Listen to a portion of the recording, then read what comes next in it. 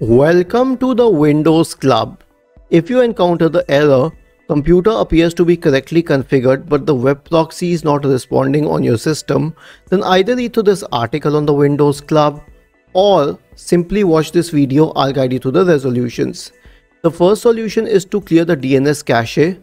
Search for command prompt in the Windows search bar and click on run as administrator to open the elevated command prompt window. In the elevated command prompt window, type the command ipconfig space forward slash flush DNS. The next solution would be to change the IPv4 and DNS settings. Press the Windows key and the R button together to open the run window. In the run window, type the command ncpa.cpl and hit enter. This will open the network connections window. Right click on your active network and select properties. In the properties window, double click on Internet Protocol version 4.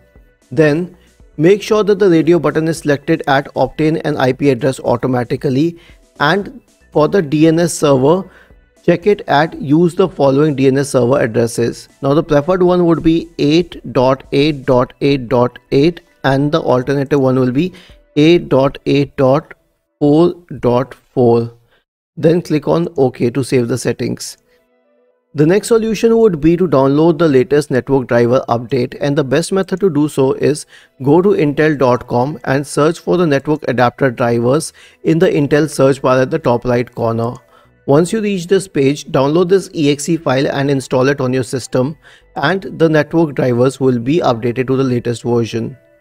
The next solution would be to change the power settings of the network drivers. Press the Windows key and the R button together to open the run window.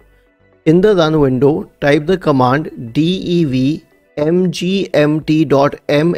and hit enter. This will open the device manager window. Now expand the list of network adapters.